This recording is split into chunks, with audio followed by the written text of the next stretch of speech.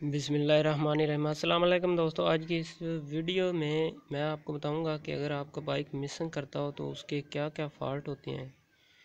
کس طرح پتہ چلتا ہے کہ یہ بائک کس جگہ سے مسنگ کر رہا ہے، کیوں کر رہا ہے، یہ میں سب آج اس ویڈیو میں آپ کو بتانے والا ہوں۔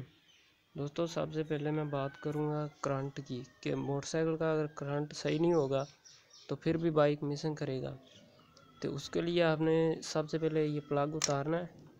یہاں سے اتار کے آپ نے یہ پلگ کے ساتھ لگا کے اس کو کر دینا ہے سٹارٹ جیسے آپ سٹارٹ کرو گے نا، تو جو کرنٹ ہوگا، اگر کبھی آ رہا ہے، کبھی نہیں آ رہا، تو پھر آپ سمجھیں کہ آپ کے کرنٹ کے اندر مسئلہ ہے، ٹھیک ہے؟ یہ پہلا سٹیپ ہو گیا۔ دوسرا سٹیپ جب کرنٹ آ رہا ہے، لیکن پھر بھی بائک مسنگ کر رہا ہے، تو پھر پلگ کا مسئلہ ہو سکتا ہے۔ ٹھیک ہے، آپ نے پلگ کو چینج کرنا ہے۔ پہلے آپ نے کرنٹ چیک کرنا ہے، پھر پلگ چینج کرنا ہے، ٹھیک ہے؟ پھر بھی مسئلہ حل نہیں ہو رہا۔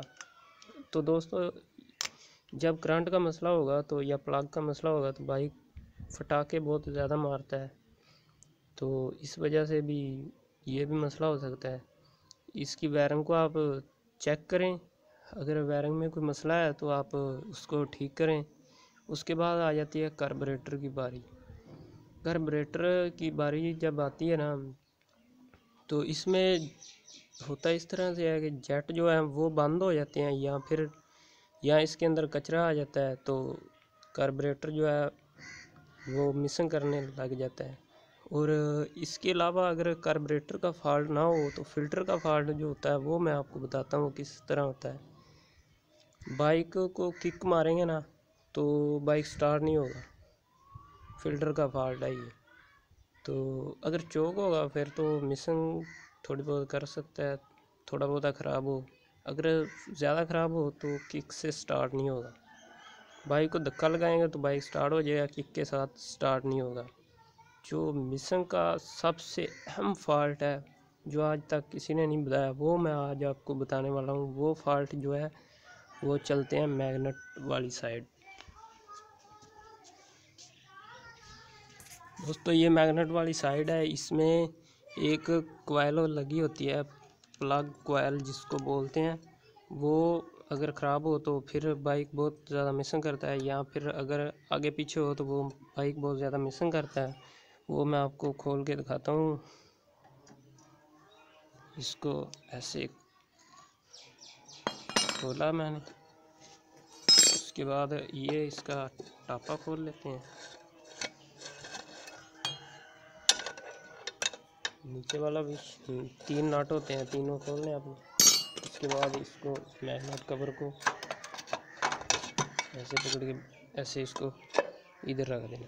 تو یہ کوائل ہے جو کہ مسنگ کا سبب بنتی ہے، جو کہ بہت زیادہ بندے کو پریشان کرتی ہے۔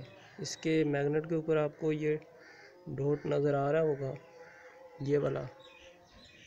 جب یہ اس کے درمیان بہت زیادہ کم فاصلہ ہونا چاہیے، تو یہ صحیح چلتا ہے۔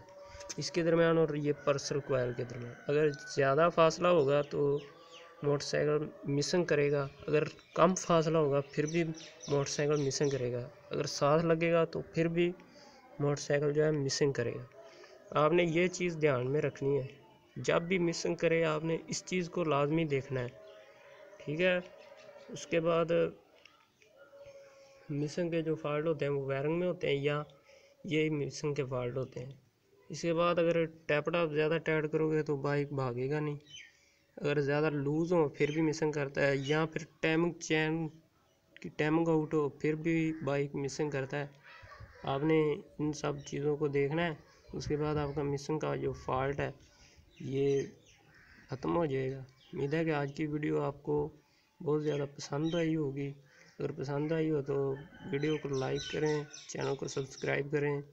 ملتے ہیں نیکسٹ ویڈیو میں۔ تب تک کے لیے اللہ حافظ۔ انشاءاللہ دوستو، اگلی ویڈیو میں بیرنگ کا مکمل کام کر کے دکھاؤں گا اور اس سے آگے والی جو ہوگی وہ ٹیوننگ، مکمل ٹیوننگ ایسی کر کے دکھاؤں گا جو آج تک کسی نے آپ کو نہیں دکھائی ہوگی۔ ملتے ہیں نیکسٹ ویڈیو میں۔ Thank for watching